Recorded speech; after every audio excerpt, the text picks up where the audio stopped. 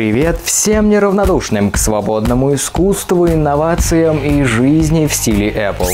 Вы смотрите High Tech News, еженедельную информационно-развлекательную программу из мира гаджетов, интернета и технологий через призму самой фруктовой компании на планете.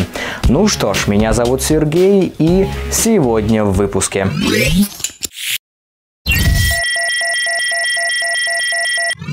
Сентябрьская конференция Apple и новые революционные продукты. В погоне за рынком Android iPhone 6 и iPhone 6 Plus представлены официально. Новая глава в истории Apple. Компания показала Watch. Ну а далее в программе расскажу о новых классных функциях приложения фото в операционной системе iOS 8, а также поделюсь впечатлениями от мобильной игры Bioshock и напоследок поведаю о том, как с помощью мобильного приложения оптимизировать свою школьную жизнь. Ну, а, пожалуй, на сладкое на этот раз оставлю репортаж из лондонского Apple Store. Погнали!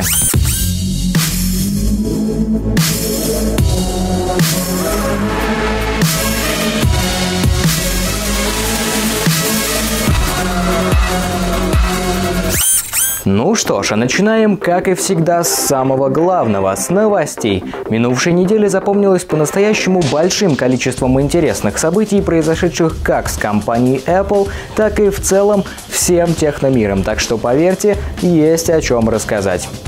Новые яблоки уже созрели. Компания Apple представила iPhone 6 и iPhone 6 Plus. Стоит признать, что выглядят новые смартфоны абсолютно идентично прототипам, мелькавшим ранее на просторах интернета. Диагональ дисплея iPhone 6 теперь составляет 4,7 дюйма, в то время как у iPhone 6 Plus все 5,5. Оба устройства получили новые 20-нанометровые процессоры Apple A8, вычислительная мощность которых возросла на 25% по сравнению с предыдущим поколением. Показатель прироста графики составил порядка 50%, что отныне обеспечит высокую производительность в наиболее тяжелых играх. Разрешение экрана iPhone 6 теперь составляет 1134 на 750 пикселей, в то время как у iPhone 6 Plus Full HD 1920 на 1080. И да, это Retina HD дисплеи нового поколения. Камера в обоих моделях iPhone осталась прежней, все те же 8 мегапикселей, однако здесь используется сенсор нового поколения, который должен обеспечивать лучшее качество съемки в условиях недостаточного освещения. Прибавьте к этому еще и возросшую в два раза скорость автофокусировки и оптическую стабилизацию у iPhone 6 Plus. Стоит также упомянуть и о незначительно возросшем времени автономной работы 4,7-дюймового iPhone 6. К слову, продажи новых моделей iPhone стартуют в России уже 26 сентября, а минимальная стоимость составляет 32 тысячи рублей, так что готовьте свои денежки. Долгожданный носимый гаджет или новая глава в истории Apple. Минувшая презентация яблочной компании принесла не только сладкие плоды, но и весьма неожиданные сюрпризы. Конференция Apple, прошедшая 9 сентября в здании Flynn Center, смогла порадовать журналистов и приглашенных представителей высокой моды не только новой итерацией яблочного смартфона, причем показанного сразу в двух экземплярах, но и в том числе по-настоящему удивить продуктом из абсолютно новой товарной категории – носимых гаджетов. Долгожданные смарт-часы получили до более простое название – Watch. Просто Apple Watch. Гаджет обзавелся обтекаемым прямоугольным корпусом в совокупности с сужающимся по краям сенсорным дисплеем Retina. Говоря о матрице, установлена здесь, увы, IPS. Однако плохо это или хорошо, судить пока все-таки рано, стоит дождаться первых тестов. Что касается интерфейса, то тут все не совсем обычно. Своего рода гигантский рабочий стол с огромным количеством иконок, объединяющих приложения одной тематики. Перемещаться между ними, к слову, можно не только с помощью привычных жестов, но и в том числе используя специальное многофункциональное колесо прокрутки, выполненное в виде заводной головки и расположенное на правом торце гаджета. Кстати, на пару с единственной кнопкой Home. Говоря о других интересных особенностях Apple Watch, стоит упомянуть о наличии беспроводной магнитной зарядки а-ля MagSafe и функциональных возможностях полноценного фитнес-трекера. Также стоит упомянуть о том, что часы будут иметь два варианта размера корпуса 38 и 42 мм. Купить же часики вы сможете по цене от 350 долларов за самую дешевую модель. Выбрать, кстати, сможете из трех разных версий. Стандартный Watch Edition, спортивный Watch Sport и золотой Watch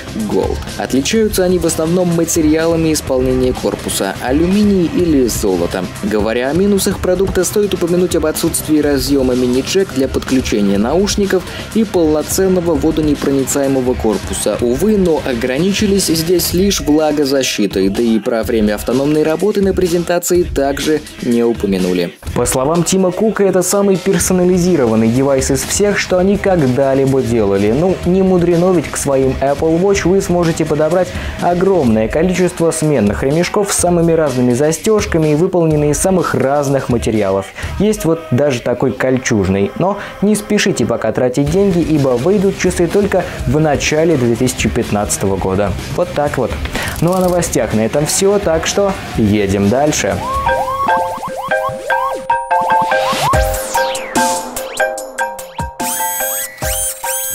Бесспорно нельзя не признать того факта, что с приходом восьмой версии iOS поменялось в мобильной операционке действительно многое. И хотя на первый взгляд каскад внесенных изменений не так уж сильно бросается в глаза, тем не менее это нисколько не умаляет того факта, что проделана была действительно огромная работа по улучшению не только внешнего, но и внутреннего облика системы.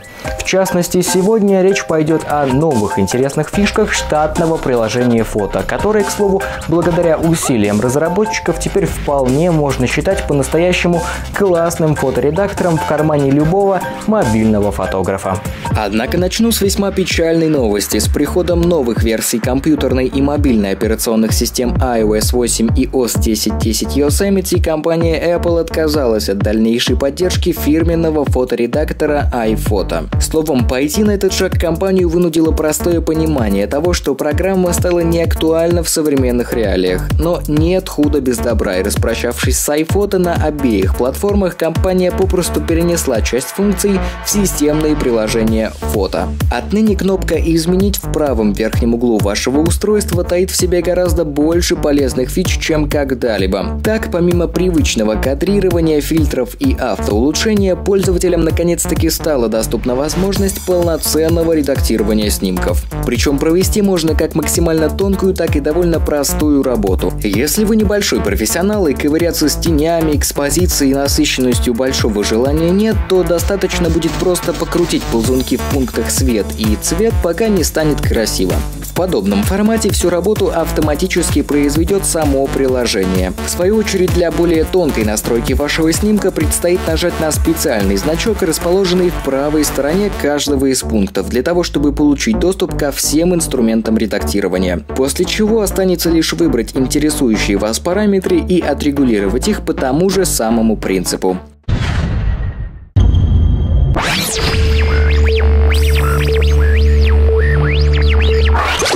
Безусловно, стоит признать, что название самой необычной игровой трилогии современности претендует серия Bioshock.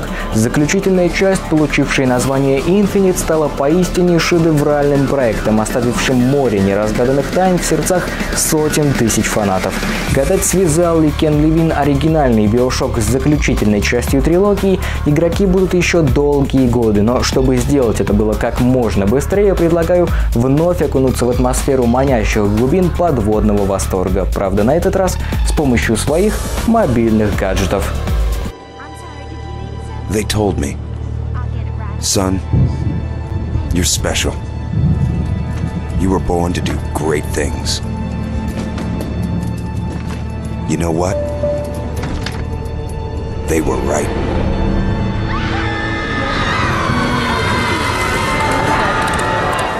Спойлеры сюжета вдаваться дело, конечно, совсем неблагородное, даже несмотря на то, что многие из вас наверняка уже успели не один раз пройти игру на ПК или консолях, но в целом рассказать об игровой вселенной тем, кто в танке, конечно, думаю, определенно стоит. Действие Биошок разворачивается в 1960 году, где главный герой по имени Джек в результате авиакатастрофы, произошедшей над просторами Атлантики, попадает в подводный город Восторг, некогда выстроенный миллионером Эндрю Райаном. Слову, заварушка вся происходит из-за открытия вещества под названием Адам, давшего людям сверхспособности и в итоге поспособствовавшего расколу некогда идеального общества в подводном городе. Управляя Джеком, игроку предстоит обследовать заброшенные и населенные враждебными мутантами уровни восторга, между тем прослушивая аудиозаписи и радиопереговоры с немногочисленными дружественными персонажами. Но хватит на этом о сюжете, пора переходить к конкретным темам. Благодарить или ругать за проделанную работу по портированию игры на наши с вами портативные хендхелды стоит подразделение студии 2K. Почему благодарить? Ну, хотя бы потому, что крупные проекты на мобильных устройствах всегда отдельный повод для радости. Да и вообще, черт возьми, да это же старый добрый Биошок. Уникальный арт, философский сюжет, шутер неплохой в конце концов. А вот почему ругать? Ну, здесь все на самом деле более очевидно. Не знаю, какими именно руками портировалась игра, но пиксельно-мыльное мыло, говоря о картинке, это тот праведный максимум, который вы увидите на своих замечательных iPad Air и iPhone 5s. На глаз от силы 360p плюс нередкие подлагивания. Чего уж говорить о том, что ветеранистые iPad 2 и iPhone 4s вообще не поддерживаются. Оптимизация? Не, не слышали. Но если бы все проблемы касались только графики. Увы, но скупость разработчиков не знает границ. Цена игры составляет немалых 469 рублей в магазине яблочных приложений App Store. На секундочку, в Steam ее можно купить почти за 100, причем с нормальной, непорезанной графикой. Подводя итог, скажу лишь, что Bioshock это все та же игра, выход которой на iOS мог бы стать событием, но не в этот раз. Деньги тратить не рекомендую.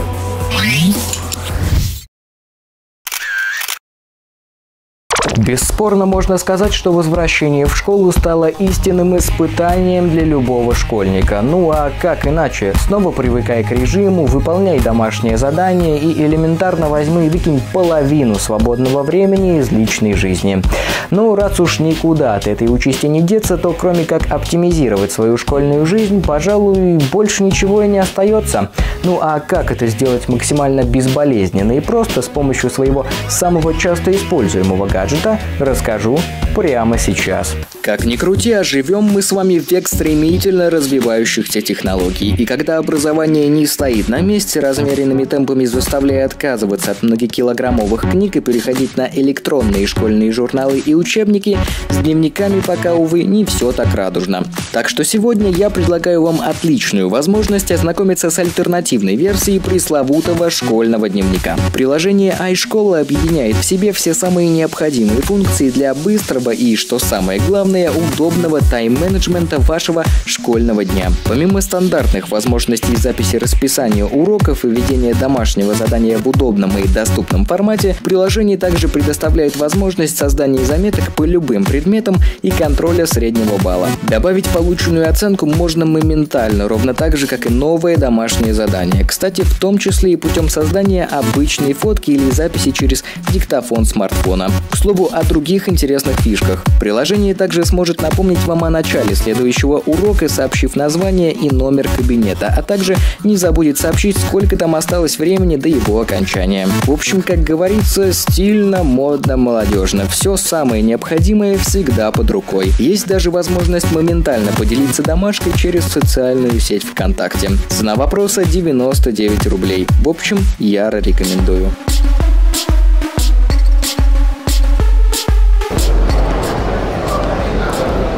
Что ж, сегодня у нас весьма необычный выпуск. Выход в офлайн, так сказать, показ народу. За спиной у меня находится Apple Store на улице Covent Garden в Лондоне. Это самый большой фирменный магазин корпорации Apple на планете Земля. Матовая сталь, столы из дуба и, конечно же, фирменная стеклянная лестница. Не знаю, как вы, а вот лично я уже в буквальном смысле горю желанием зайти внутрь святая святых для любого фаната Apple.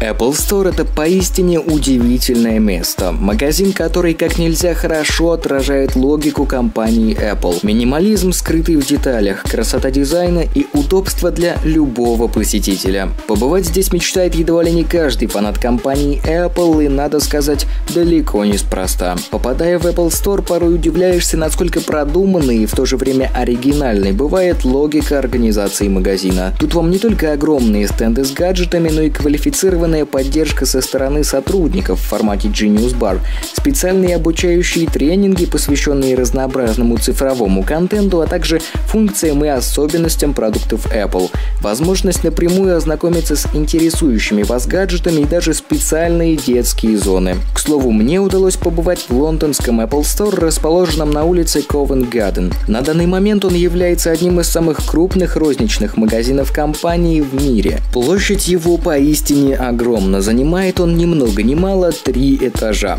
Само собой, найти здесь можно абсолютно все, начиная с огромного количества разнообразных аксессуаров, акустических систем, музыкального и офисного оборудования, а также непосредственно техники Apple. Но в первую очередь любопытна история самого магазина. Например, на его постройку ушло больше 30 миллионов долларов. Стоит взять во внимание и тот факт, что отреставрирован и переделан был абсолютно каждый квадратный метр здания, построенного еще в 1877 году, где впоследствии и расположился Apple Store. Его строительство длилось почти 18 месяцев, но даже несмотря на это, магазин успел застать времена продаж iPhone 4 и даже iPad первого поколения. Подводя итог, признаюсь, посещение Apple Store оставило в моей памяти потрясающие впечатления, ведь пройти под сводом огромных дверей, увенчанных логотипом Apple, и самому подняться по знаменитой стеклянной лестнице стоит поистине многого.